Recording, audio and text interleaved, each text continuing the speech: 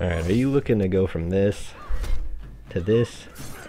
If so, then I think you might have came to the right place. This is Unbreakable Patches, and welcome to the second video in my For Honor character counter guide. So today we're going to be focusing on the Peacekeeper, and I'm going to start this video highlighting some of the things that can make her such a nuisance to fight, and some of the things you can do to negate them. So the first thing I'm going to point out, which I'm sure you guys already know, is that she is incredibly agile, and with her extreme mobility and a pretty crazy counterattack potential, defeating her is going to require you to adapt a very calculated playstyle.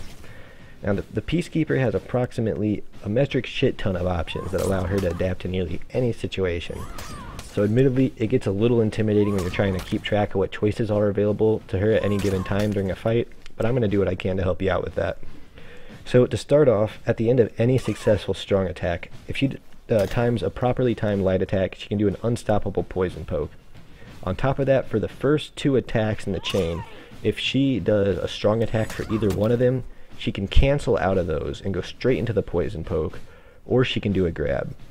Now, as far as I can tell, the poison poke is damn near impossible to parry. So, for that reason, I would actually recommend that you try to block the first two attacks of her attack chain.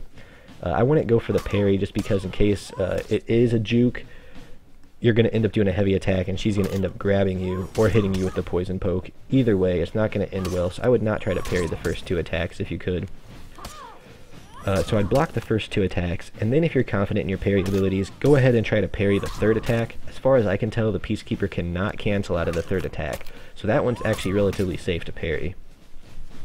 So now the Peacekeeper has some crazy sidestep attacks, and this is one of the main reasons I recommend uh, adapting a very defensive playstyle when fighting against a high-level PK player, because a good PK can and will punish you for initiating an exchange with her incredible uh, deflect and sidestep poison poke attacks.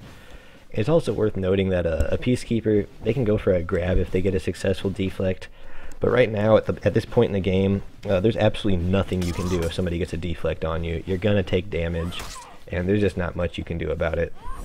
So one of the PK's only weaknesses is that her mid to long range game is very predictable. When she is out of melee range, you can expect one of two things from a Peacekeeper.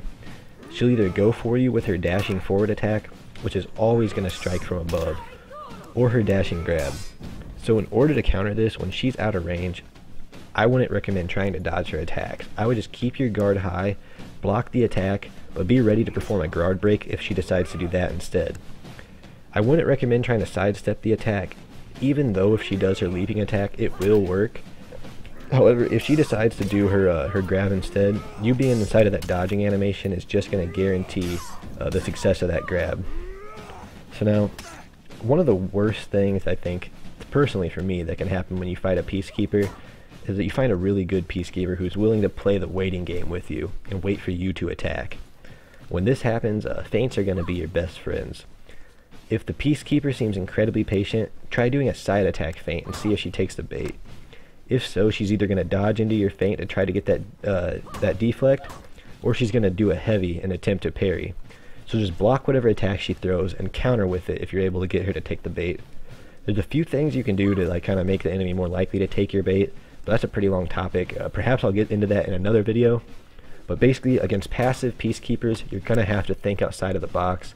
Uh, feints are going to be your best friends to get them to kind of kind of throw them off of their game. So I'm going to go over a few tips here that are going to be a little bit more character specific. So uh, in my opinion, the best choices to beat the PK, if you know you're going to fight a PK and you're equally skilled with all the classes, I would say you're going to want to be either a Nobushi, a Kensei, a Berserker, or preferably the Warlord. So the Nobushi and Kensei, I like them because they're effectively, they're able to zone the PK out of uh, her striking distance.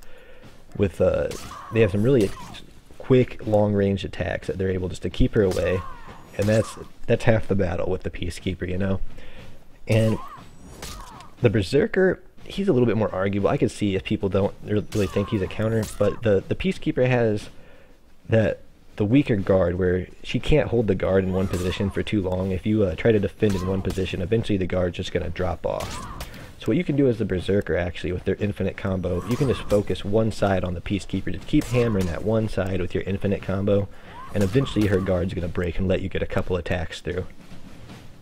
Now, the uh, the Warlord, I picked him as the best counter against the Peacekeeper, personally, just because uh, he can actually out counter the Peacekeeper if he's very skilled. He can beat the Peacekeeper in the counter game, even with his low mobility.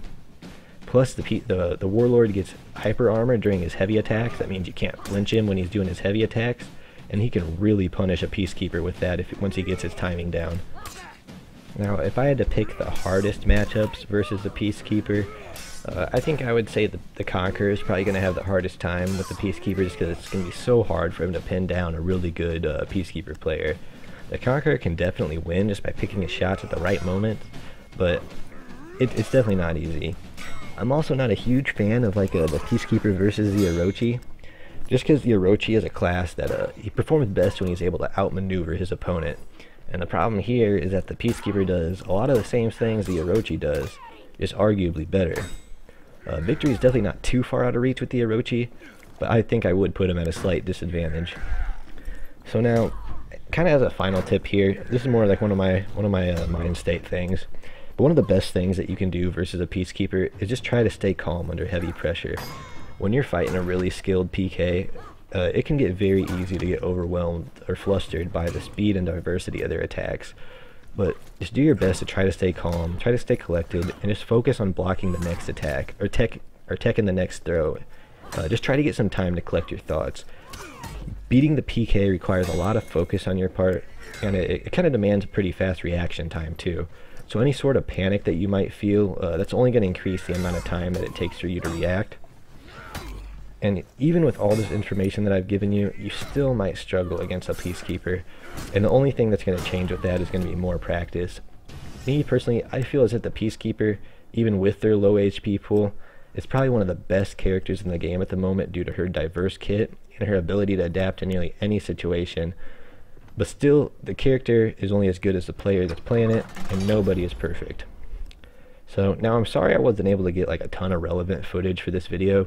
I think after I made this video, I came up with a process where uh, for all my future videos, they should be out a lot more cleaner, cleaner, and I should be able to have a process where uh, I get footage that's relevant to my video and stuff like that.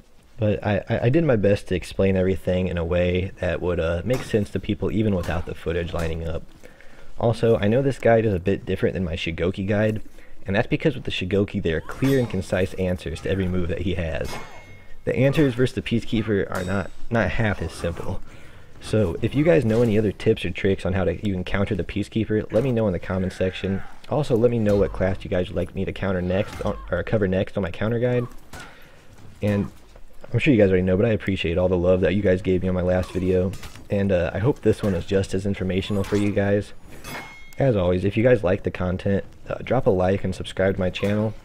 And every new sub or like that I get goes a huge way since I'm such a brand new channel. So uh, just thanks for checking out my video, and I hope it uh, helps some of you guys start winning a little bit more versus Peacekeepers. So for now, guys, peace out.